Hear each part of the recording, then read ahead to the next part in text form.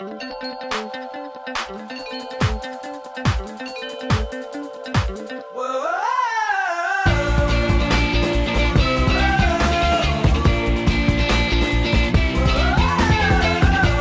doing the 140k cycle and really excited. Beautiful sunny morning here in Clifden. Delighted to be here.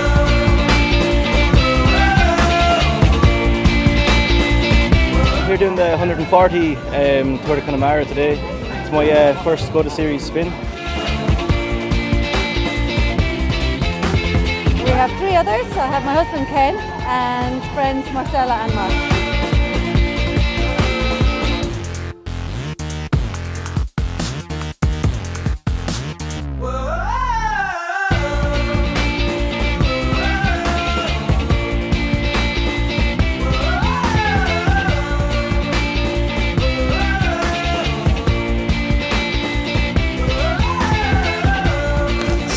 Second time doing Connemara um, and I've done the new cycle series as well.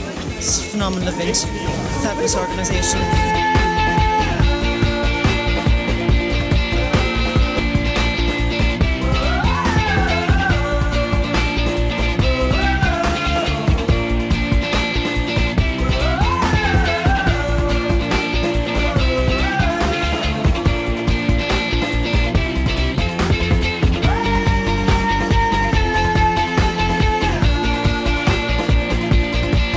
Just after arriving back here at this Go Tour de Connemara uh, here in Clifden. it was a 140 kilometre route that I, I didn't have the courage to do, so I just did the 80 kilometre route.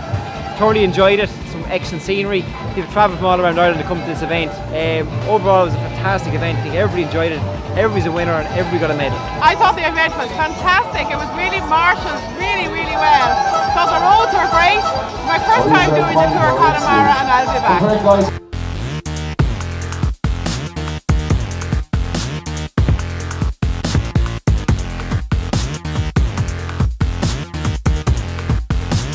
Uh, we're members of a, club, a cycling club called Cycling for Sick Children.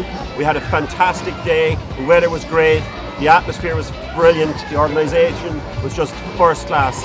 Um, an all-round great day. Super day. Brilliant super day. day. Super day. It's been a great success this year. Uh, record numbers again. The weather, the weather held up as well. So I think it made a huge difference as well, and people enjoying to the event. So any day you get 1,700 people cycling around Connemara, it's a, it's a good day for cycling and for, for, for any any event, you know. So.